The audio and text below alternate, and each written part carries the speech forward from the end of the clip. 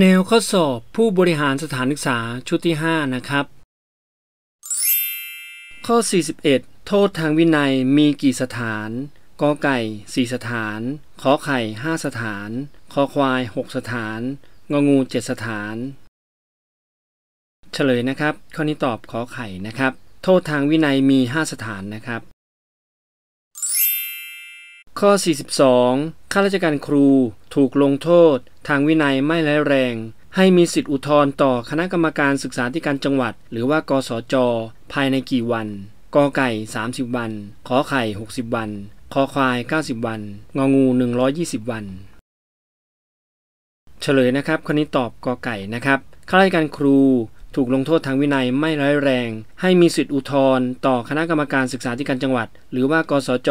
ภายใน 30 วันนะครับ ข้อ 43 ผู้อำนวยการสถานศึกษา มีอำนาจสั่งลงโทษทางวินัย สูงสุดตามข้อใดกอไก่ตักเตือนขอไข่ภาคทันคอควายตัดเงินเดือนงองูลดเงินเดือน เฉลยนะครับข้อนี้ตอบคอควายนะครับผู้อำนวยการสถานศึกษา มีอำนาจสั่งลงโทษทางวินัย สูงสุดคือตัดเงินเดือนนะครับ ข้อ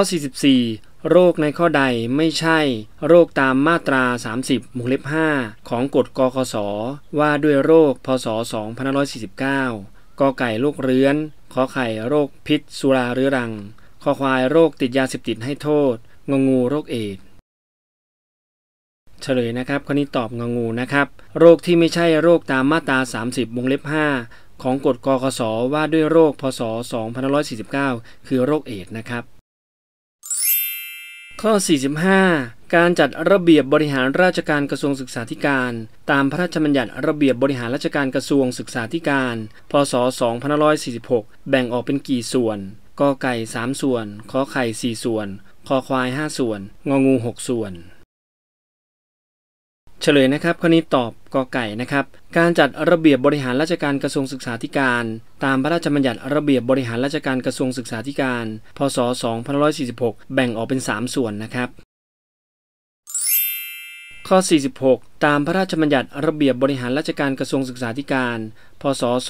2546 แก้ไขเพิ่มเติมฉบับที่ 3 มาตรา 10 การแบ่งส่วนราชการในส่วนกลาง โดยให้มีหัวหน้าส่วนราชการขึ้นตรง ต่อรัฐมนตรีว่าการกระทรวงศึกษาธิการ ยกเว้นข้อใดกอไก่สำนักงงานรัฐมนตรี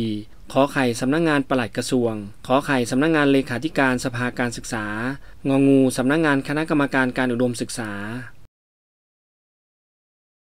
เฉลยนะครับข้อนี้ตอบงองูนะครับ ตามพระราชบัญญัติ ระเบียบบริหารราชการกระทรวงศึกษาธิการ พศ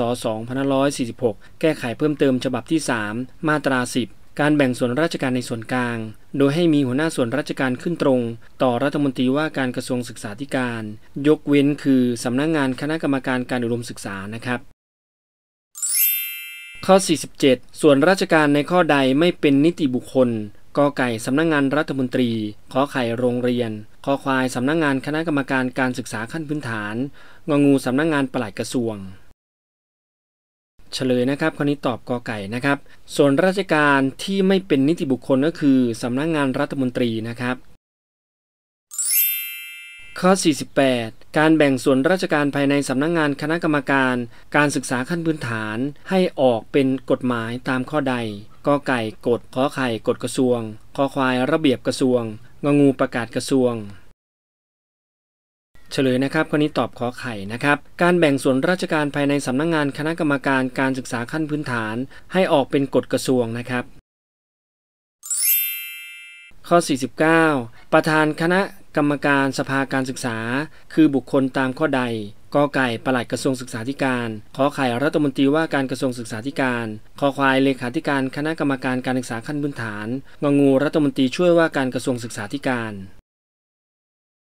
เฉลยนะครับ ข้อนี้ตอบขอไข่นะครับ ประธานคณะกรรมการสภาการศึกษา คือรัฐมนตรีว่าการกระทรวงศึกษาธิการนะครับ